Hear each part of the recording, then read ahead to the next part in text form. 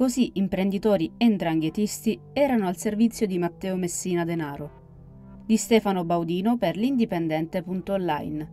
Interrogato davanti ai magistrati un mese dopo l'arresto, lo scorso 16 febbraio, Matteo Messina Denaro ha fatto lo gnorri ha sostenuto di non aver mai fatto parte di Cosa Nostra, di saperne qualcosa solo perché è letto sui giornali e di non aver mai avuto alcuno dei soprannomi che hanno accompagnato il suo personaggio, che gli sarebbero invece stati attaccati dai giornalisti quando era latitante. Una narrazione in perfetto stile mafioso, che pare un copia e incolla delle dichiarazioni del suo mentore, cioè Totorina, davanti ai giudici negli anni 90. Eppure, nell'occasione, qualche dettaglio sulle sue strategie finanziarie Messina Denaro se lo fa scappare e in contemporanea le indagini continuano, svelando elementi importanti sulle protezioni di cui Usiku, come era soprannominato, avrebbe goduto prima della cattura. Mi chiamo Matteo Messina Denaro, lavoravo in campagna ed ero un agricoltore. Queste le prime parole messe a verbale dal boss, che davanti al GIP Alfredo Montalto e ai sostituti procuratori Gianluca De Leo e Giovanni Antoci